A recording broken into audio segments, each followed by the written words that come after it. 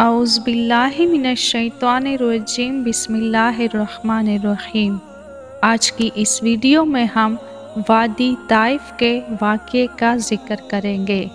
शवाल दस नबूवत में नबी करीम अलैहि वसल्लम ताइफ तशरीफ़ ले गए। ये मक्का से तकरीबन साठ मील दूर है। आप सल्लल्लाहु अलैहि वसल्लम ने ये मुसाफत आते जाते पैदल तय फरमाई थी। आप सल्लल्लाहु अलैहि वसल्लम के हमरा आपके आज़ाद करदा ग़ुलाम हज़रत जैद बिन हारसा थे।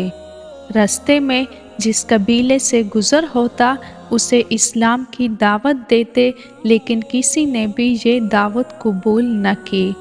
जब ताइफ पहुँचे तो कबीला सकीफ़ के तीन सरदारों के पास तशरीफ़ ले गए, जो आपस में बाई थे, और उनके नाम अब्द या यसल मसूद और हबीब थे।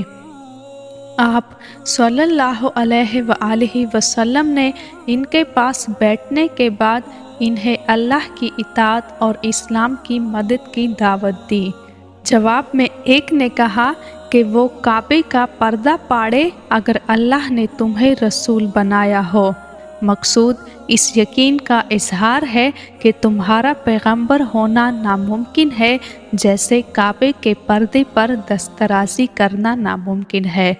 दूसरे ने कहा, क्या अल्लाह को तुम्हारे अलावा कोई और न मिला? तीसरे ने कहा मैं तुमसे हर किस बात ना करूँगा। अगर तुम वाकई पैगंबर हो तो तुम्हारी बात रद्द करना मेरे लिए इंतहाई ख़तरनाक है, और अगर तुमने अल्लाह पर झूठ गढ़ रखा है तो फिर मुझे तुमसे बात ही नहीं करनी चाहिए।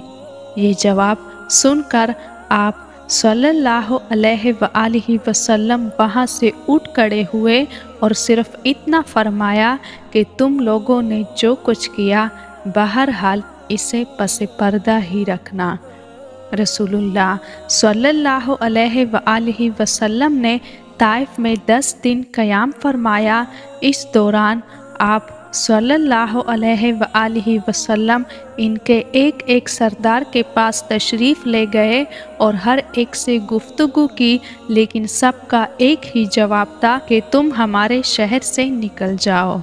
बल्कि उन्होंने अपने ओबाशों को शह दे दी, चुनाचा जब आप सल्लल्लाहु अलैहि वसल्लम ने वापसी का इरादा फरमाया तो ये ओबाश गालियाँ देते तालियाँ पीटते और शोर मचाते आप सल्लल्लाहु अलैहि वसल्लम के पीछे लग गए और देखते देखते इतनी भीड़ जमा हो गई कि आप सल्लल्लाहु अलैहि वसल्लम के रास्ते के दोनों जानब लाइन लग गई। फिर गालियों और बदजबानियों के साथ साथ पत्थर भी चलने लगे, जिससे आप सल्लल्लाहु अलैहि वसल्लम की एड़ी पर इतने ज़ख्म आए कि दोनों जूते खून में तितर बितर हो गए। इधर हज़रत जैद बिन हारसा रज़ी अल्लाह डाल बनकर चलते हुए पत्थरों को रोक रहे थे, जिससे उनके सर में कई जगह चोट आई। बदमाशों ने ये सिलसिला बराबर जारी रखा, यहाँ तक कि आप सल्लल्लाहु अलैहि वसल्लम को उतबा और शेबा अबनाए रबी के एक बाग में पना लेने पर मजबूर कर दिया। ये बाग ताइफ से तीन मील के फासले पर है, जब आप सल्लल्लाहु अलैहि वसल्लम ने यहाँ पनाह ली तो भीड़ वापस चली गई। और आप सल्लल्लाहु अलैहि वसल्लम एक दीवार से टैक लगाकर अंगूरों की बेल के साय में बैठ गए। कदर इत्मीनान हुआ तो दुआ फरमाई, जो दुआए मुस्तफ़ीन के नाम से मशहूर है, उस दुआ के एक एक फ़िक्र से अंदाज़ा किया जा सकता है कि ताइफ में इस बदसलूकी से दो चार होने के बाद और किसी एक भी शख्स के ईमान ना लाने की वजह से आप सल्लल्लाहु अलैहि वसल्लम किस कदर दिल फुगारते। और आप सल्लल्लाहु अलैहि वसल्लम के एहसास पर हुस्न अलम और गम व अफसोस का किस कदर गलबा था आप सल्लल्लाहु अलैहि वसल्लम ने फरमाया, ए अल्लाह, मैं तुझ ही से अपनी कमज़ोरी, बेबसी और लोगों के नज़दीक अपनी बेकदरी का शिकवा करता हूँ। या अरहमर राहिमीन तो कमज़ोरों का रब है और तू ही मेरा भी रब है। तू मुझे किसके हवाले कर रहा है? क्या किसी बेगाने के जो मेरे साथ तंदी से पेश आए? या किसी दुश्मन के जिसको तूने मेरे मामले का मालिक बना दिया है? अगर मुझ पर तेरा गज़ब नहीं है तो मुझे कोई परवाह नहीं। लेकिन तेरी आफ़ियत मेरे लिए ज़्यादा कुशादा है मैं तेरे चेहरे के इस नूर की पनाह चाहता हूँ, जिससे तारीकियाँ रोशन हो गई और जिस पर दुनिया और आखिरत के मामलात दुरुस्त हुए कि तू मुझ पर अपना गज़ब नाजिल फरमाए या तेरा इताब मुझ पर वारिद हो, तेरी ही रज़ा मतलूब है। यहाँ तक कि तू खुश हो जाए और तेरे बग़ैर कोई ज़ोर और ताकत नहीं।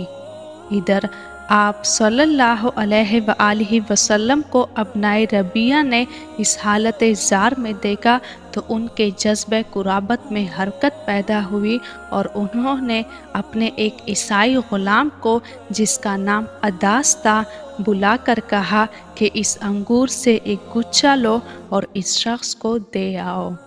जब उसने अंगूर आप सल्लल्लाहु अलैहि वसल्लम की खिदमत में पेश किया तो आप सल्लल्लाहु अलैहि वसल्लम ने बिस्मिल्लाह कहकर हाथ बढ़ाया और काना शुरू किया।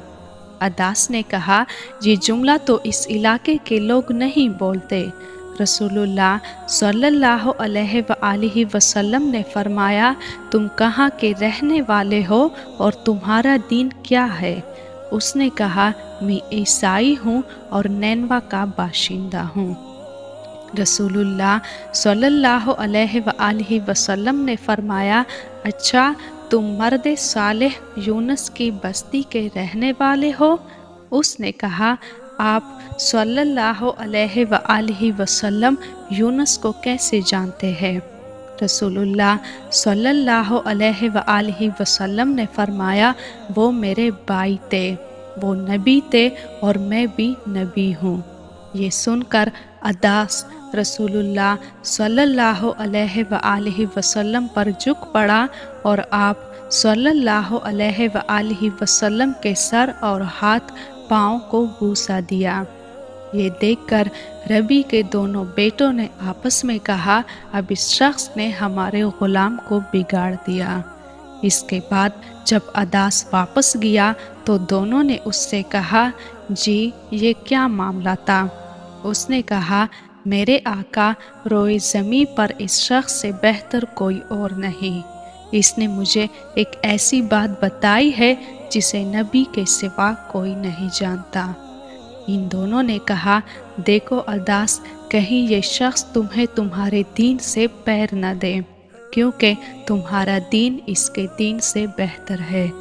कदर ठहर कर रसूलुल्लाह सल्लल्लाहु अलैहि वसल्लम बाग से निकले तो मक्के की राह पर चल पड़े।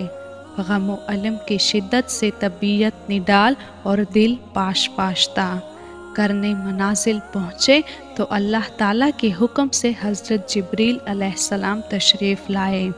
इनके साथ पहाड़ों का फरिश्ता था वो आप सल्लल्लाहु अलैहि वसल्लम से ये गुजारिश करने आया था कि आप सल्लल्लाहु अलैहि वसल्लम हुक्म दे तो वो अहले मक्का को दो पहाड़ों के दरमियान पीस डाले। इस वाक़े की तफसील सही बुखारी में हज़रत आयशा रज़ी अल्लाह से मरवी है। उनका बयान है कि उन्होंने एक रोज़ हजूर अक्रम सल्लल्लाहु अलैहि वसल्लम से दरियाफ़्त किया कि क्या आप सल्लल्लाहु अलैहि वसल्लम पर कोई ऐसा दिन भी आया है जो ओहद के दिन से ज़्यादा संगीन रहा हो? आप सल्लल्लाहु अलैहि वसल्लम ने फरमाया हाँ। तुम्हारी कौम से मुझे जिन जिन मसाइब का सामना करना पड़ा, उनमें सबसे संगीन मुसीबत वो थी, जिससे मैं घाटी के दिन दो चार हुआ। जब मैंने अपने आप को अब्दिया यसल बिन अब्द कुला के साहिबजादे पर पेश किया, मगर उसने मेरी बात मंजूर न की तो मैं गम और अलम से निडाल अपने रुख पर चल पड़ा, और मुझे कज़न तआले पहुँच कर ही अफाका हुआ। वहाँ मैंने सर उठाया तो क्या देखता हूँ कि बादल का एक टुकड़ा मुझ पर साय फगन है। मैंने बगौर देखा तो उसमें हज़रत जबरील सलाम थे। उन्होंने मुझे पुकार कर कहा, आप सल्लल्लाहु अलैहि वसल्लम की कौम ने आप सल्लल्लाहु अलैहि वसल्लम से जो बात कही, अल्लाह ने उसे सुन लिया है। अब इसने आप सल्लल्लाहु अलैहि वसल्लम के पास पहाड़ों का फरिश्ता भेजा है, ताकि आप सल्लल्लाहु अलैहि वसल्लम इनके बारे में उसे जो चाहे हुक्म दे। इसके बाद पहाड़ों के फरिश्ते ने मुझे आवाज़ दी और सलाम करने के बाद कहा, ए मोहम्मद, सल्लल्लाहु अलैहि वसल्लम, बात यही है। अब आप सल्लल्लाहु अलैहि वसल्लम जो चाहे, अगर चाहे कि मैं उन्हें दो पहाड़ों के दरमियान कुचल दूँ तो ऐसा ही होगा। नबी करीम सल्लल्लाहु अलैहि वसल्लम ने फरमाया, नहीं, बल्कि मुझे उम्मीद है कि अल्लाह इनकी पुष्ट से ऐसी नस्ल पैदा करेगा, जो सिर्फ़ एक अल्लाह की इबादत करेगी और उसके साथ किसी चीज़ को शरीक ना ठहराएगी। रसूलुल्लाह सल्लल्लाहु अलैहि वसल्लम के इस जवाब में आप सल्लल्लाहु अलैहि वसल्लम के नाकाबिल इतराक, गहराई रखने वाले अखलाक अजीमा के जलवे देखे जा सकते हैं। बहरहाल, अब सात आसमानों के ऊपर से आने वाली इस गैबी मदद की वजह से आप सल्लल्लाहु अलैहि वसल्लम का दिल मुतमईन हो गया और गम अलम के बादल चट गए। चुनाचा, आप सल्लल्लाहु अलैहि वसल्लम ने मक्के की राह पर मज़ीद पेशकदमी फरमाई और वादी नखला में ठहर गए। वादी नखला में आप सल्लल्लाहु अलैहि वसल्लम का क़ियाम चंद दिन रहा। इस दौरान अल्लाह ताला ने आप सल्लल्लाहु अलैहि वसल्लम के पास जिनों की एक जमात भेजी, जिसका ज़िक्र कुरान मजीद में दो जगह आया है, एक सूर्य अहकाफ में और दूसरे सूर्य जिन में। सूरह अहकाफ की आयात वैज़ा सरफना इलाइका से लेकर मिन जुनूबिकुम वयुजिरकुम मिन अजाबिन अलीम तक है, जिसका तर्जमा है, और जबकि हमने आप सल्लल्लाहु अलैहि वसल्लम की तरफ़ जिनों के एक गिरोह को पैरा कि वो कुरान सुने। तो जब वो तिलावत कुरान की जगह पहुँचे तो उन्होंने आपस में कहा कि चुप हो जाओ। फिर जब उसकी तिलावत पूरी की जा चुकी तो वो अपने कौम की तरफ़ अजाब इलाही से डराने वाले बनकर पलटे। उन्होंने कहा ए हमारी कौम, हमने एक किताब सुनी है जो मूसा के बाद नाजिल की गई है। अपने से पहले की तस्दीक करने वाली है, हक और राह की तरफ़ रहनुमाई करती है। ए हमारी कौम, अल्लाह के दाई की बात मान लो और उस पर ईमान लाओ। अल्लाह तुम्हारे गुनाह बख्श देगा और तुम्हें दर्दनाक आजाब से बचाएगा। सूरह जिन की आयात यह है, कुल ओहिया इलैया से लेकर वलन नुश्र बिरब बिना अहद तक जिसका तर्जमा है, आप कह दे, मेरी तरफ़ ये वही की गई है कि जिनों की एक जमात ने कुरान सुना और बाहम कहा कि हमने एक अजीब कुरान सुना है जो राह रास्त की तरफ़ रहनुमाई करता है। हम इस पर ईमान लाए हैं और हम अपने रब के साथ किसी को हर किस शरीक नहीं कर सकते। ये आयात जो इस वाक़े के बयान के सिलसिले में नाजिल हुई, इनके सियाक सबाक से मालूम होता है कि नबी करीम सल्लल्लाहु अलैहि वसल्लम को इब्तदा में जिनों की इस जमात की आमद का इलम ना हो सका था, बल्कि जब इन आयात के ज़रिए अल्लाह ताला की तरफ़ से आप सल्लल्लाहु अलैहि वसल्लम को इतला दी गई, तब आप सल्लल्लाहु अलैहि वसल्लम वाकिफ हो सके। ये भी मालूम होता है कि जिनों की ये आमद पहली बार हुई थी और अहादीस से पता चलता है कि इसके बाद उनकी आमदोरफ्त होती रही। जिनों की आमद और कबूल इस्लाम का वाक़ दर हकीकत अल्लाह ताला की जानब से दूसरी मदद थी, जो उसने अपने गैब मकनून के ख़जाने से अपने इस लश्कर के ज़रिए फरमाई थी, जिसका इलम अल्लाह के सिवा किसी को नहीं।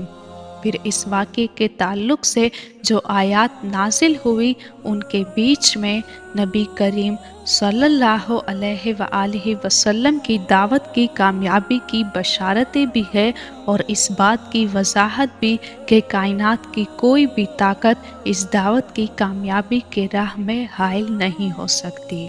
चुनाचा इरशाद है जो अल्लाह के दाई की दावत कबूल न करे, वो ज़मीन में अल्लाह को बेबस नहीं कर सकता। और अल्लाह के सिवा इसका कोई कारसाज है भी नहीं, और ऐसे लोग खुली हुई गुमराही में हैं। इसके अलावा इरशाद है, हमारी समझ में आ गया है कि हम अल्लाह को ज़मीन में बेबस नहीं कर सकते, और ना हम बाग कर ही उसे पकड़ने से आजिज़ कर सकते हैं।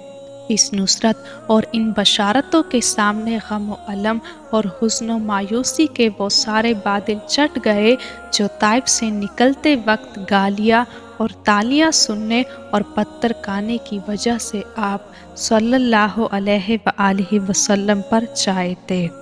आप सल्लल्लाहु अलैहि वसल्लम ने अज़म मौसम फरमाया कि अब मक्का पलटना है और नए सिरे से दावत इस्लाम और तबलीग रिसालत के काम में चुस्ती और गर्मजोशी के साथ लग जाना है। यही मौका था जब हज़रत जैद बिन हारसा रज़ी अल्लाह ने आप सल्लल्लाहु अलैहि वसल्लम से अर्ज़ की कि आप अलैहि वसल्लम मक्का कैसे जाएँगे, जबकि वहाँ के बाशिंदों, यानी कुरैश ने आप सल्लल्लाहु अलैहि वसल्लम को निकाल दिया है। और जवाब में आप सल्लल्लाहु अलैहि वसल्लम ने फरमाया, ए जैद, तुम जो हालत देख रहे हो, अल्लाह ताला इससे कुशादगी और निजात की कोई राह ज़रूर बनाएगा। अल्लाह यकीनन अपने दीन की मदद करेगा और अपने नबी को गालिब फरमाएगा। आखिर रसूलुल्लाह सल्लल्लाहु अलैहि वसल्लम वहाँ से रवाना हुए और मक्के के करीब पहुंचकर कोहे हिरा के दामन में ठहर गए। फिर खुजा के एक आदमी के ज़रिए अखनस बिन शुरैक को ये पैगाम भेजा कि वो आप सल्लल्लाहु अलैहि वसल्लम को पनाह दे मगर अखनस ने यह कहकर मुआसरत कर ली कि मैं हलीफ हूँ और हलीफ पनाह देने का इख्तियार नहीं रखता इसके बाद आप सल्लल्लाहु अलैहि वसल्लम ने सुहेल बिन अमर के पास यही पैगाम भेजा, मगर उसने भी ये कहकर मुआसरत कर ली कि बनी आमिर की दी हुई पनाह बनु काब पर लागू नहीं होती। इसके बाद आप सल्लल्लाहु अलैहि वसल्लम ने मुतम बिन अदी के पास पैगाम भेजा मुतम ने कहा हाँ और फिर हथियार पहनकर अपने बेटों और कौम के लोगों को बुलाया और कहा, तुम लोग हथियार बाँध कर खाना काबा के गोशों पर जमा हो जाओ, क्योंकि मैंने मोहम्मद सल्लल्लाहु अलैहि वसल्लम को पनाह दे दी है। इसके बाद मुतम ने रसूलुल्लाह सल्लल्लाहु अलैहि वसल्लम के पास पैगाम भेजा कि मक्के के अंदर आ जाए। आप सल्लल्लाहु अलैहि वसल्लम पैगाम पाने के बाद हज़रत जैद बिन हारसा को हमरा लेह कर मक्का तशरीफ़ लाए और मस्जिद हराम में दाखिल हुए। इसके बाद मुतम बिन अदी ने अपनी सवारी पर कड़े होकर ऐलान किया कि कुरैश के लोगों, मैंने मोहम्मद सल्लल्लाहु अलैहि वसल्लम को पनाह दे दी है, अब उसे कोई न छेड़े। इधर रसूलुल्लाह सल्लल्लाहु अलैहि वसल्लम सीधे हजर असवद के पास पहुँचे। उसे चूमा, फिर दो रकात नमाज़ पढ़ी और अपने घर को पलट आए। इस दौरान मुतइम बिन अदी और उनके लड़कों ने हथियार बंद होकर आप सल्लल्लाहु अलैहि वसल्लम के इर्द गिर्द हल्का बांधे रखा। यहाँ तक कि आप सल्लल्लाहु अलैहि वसल्लम अपने मकान के अंदर तशरीफ़ ले गए। कहा जाता है कि इस मौके पर अबू जहल ने मुतम से पूछा था कि तुमने पनाह दी है या पैरोकार, यानी मुसलमान बन गए हो?